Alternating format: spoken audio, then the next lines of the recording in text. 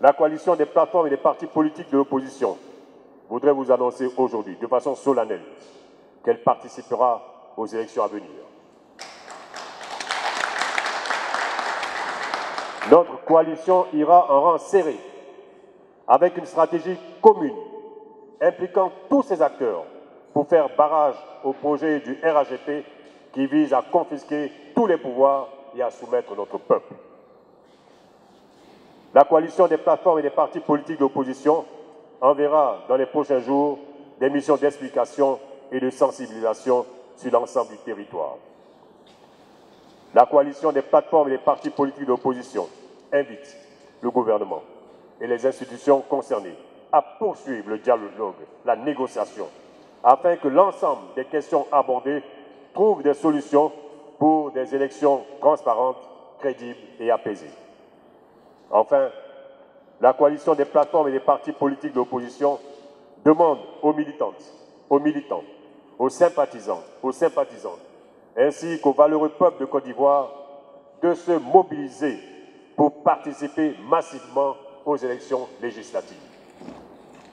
L'enjeu majeur est d'assurer à la coalition des plateformes et des partis politiques de l'opposition la majorité absolue au Parlement pour lui permettre de reconstruire un État de droit, un État démocratique avec des populations réconciliées, un État où il fait bon vivre. C'est une question qui revient souvent.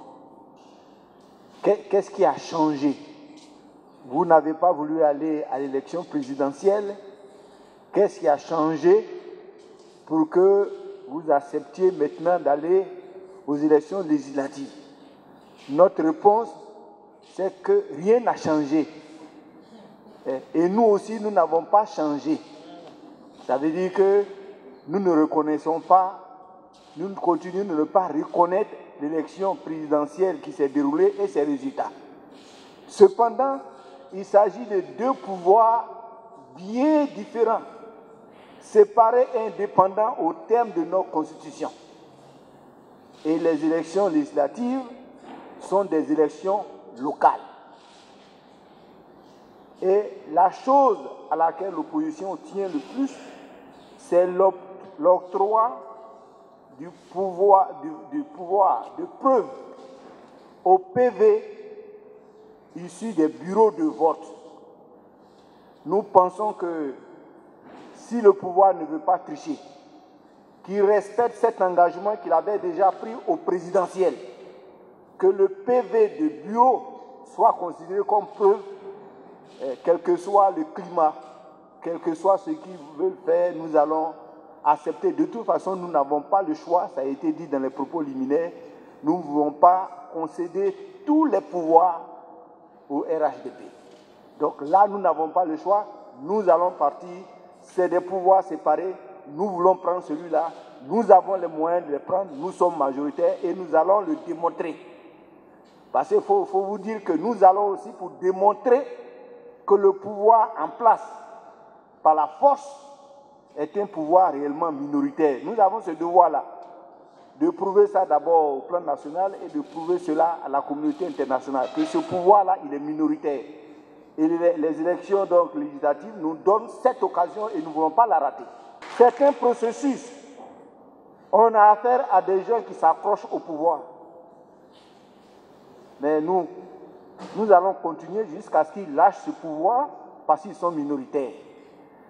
Et la seule façon de rendre hommage aux Ivoiriens qui sont morts, c'est de remporter ces élections législatives. Ils vont comprendre. C'est pour eux qu'on fait ça, ce n'est pas pour nous. Il faut qu'on remporte ces élections-là. Pour tous les exilés, pour tous les prisonniers politiques, pour ceux qui sont morts, nous avons le droit de relever ce défi et nous allons le relever unis. On ne va pas relever notre stratégie, mais pour convaincre nos militants, nous sommes obligés d'expliquer les choses. Il n'y aura pas officiellement un candidat de l'opposition, de la coalition de l'opposition, que le président Henri Conan Bédier préside. Il n'y aura pas un candidat contre un autre candidat. Il y aura un seul candidat par siège pour le compte de l'opposition. On ne va pas se combattre. On sera ensemble. Voilà, on sera tous derrière le candidat qui sera choisi, quel que soit ce candidat-là.